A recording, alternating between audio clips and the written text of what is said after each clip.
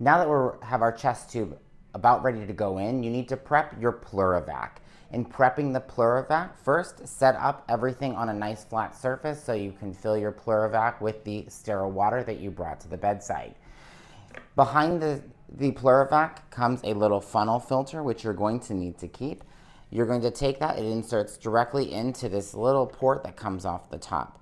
You're going to take, double bend that right against the device at the top, which creates a blockage. You're going to fill the top of this little filter funnel all the way to a little indented line right at the top notch. We're going to simulate that here. And when you have it filled all the way to the top, you're going to open, release, and that will actually fill your water seal right to the exact amount that it needs to be at. After that, you can use the same funnel to then open up the yellow flap and help to fill in your suction control chamber up to typically what is negative 22 or negative 20 rather. Um, and again, looking at your physician and what they actually would prefer if there is a different number. But again, your standard is negative 20 centimeters of water.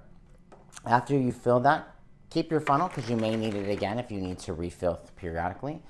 You're going to have your, your little long tube that actually connects into your chest tube. You maintain sterility of the tip at the end right here, which then will be handed off to your physician once your tube is placed, and they'll be able to directly connect that. After that, you just find out whether or not this is to water seal, which means that it would just be just like this on the ground below the patient, or if the physician would prefer having this connected to active suction to the wall suction that you've already set up.